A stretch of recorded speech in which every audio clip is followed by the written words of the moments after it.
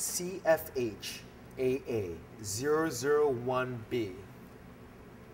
This is part of Orient Watch's mechanical power reserve semi-skeleton series.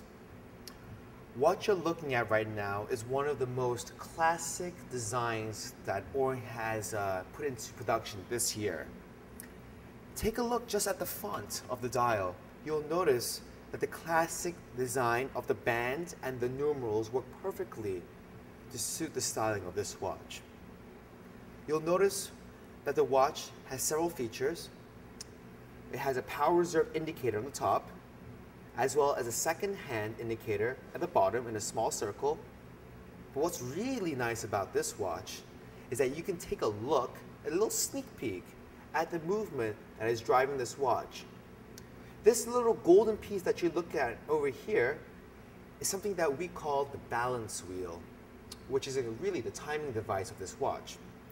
That is why mechanic, this is the reason why mechanical watches have a smooth second hand is because we have a timing device that oscillates six times a second. So it is adjust, so the second hand pivots six times per second. Now, let's take a look at the top portion over here called the power reserve indicator. The power reserve indicator it works exactly like a car fuel gauge.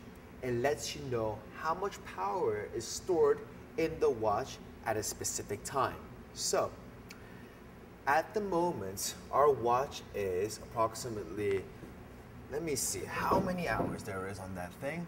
We have around five hours on the power reserve, which means that at a stationary position, the watch will run for five hours without any stoppages or any problems.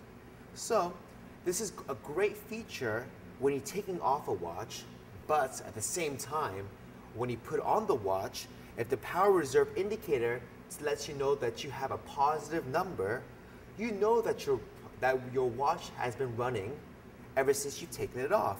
So the timing is correct. Now taking, looking closer at some of the details of the watch, we can see how nicely these lines over here on the dial work with the classic beauty that the Orient is trying to deliver with this timepiece. Let's take a look at the case.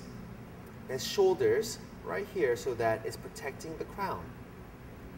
Now in line with this classic styling, we have this beautiful band with both matte and finished links to give an extraordinary look. Looking at the buckle, you'll notice that it's a butterfly, meaning that it opens and closes almost seamlessly making that buckle very, very inconspicuous and giving a very, very refined look. Let's take a look at the back of the watch, where we can take a look at the exhibition case back, which is a fantastic feature which allows you to take a look at the mechanism that drives the watch. The golden piece, as I explained before, is the balance wheel. You'll also see a semicircle piece, which is called the rotor, which spins as you wear and stores power into the spring. Now our rotors are bidirectional, meaning that they can spin both ways and store power going at both directions.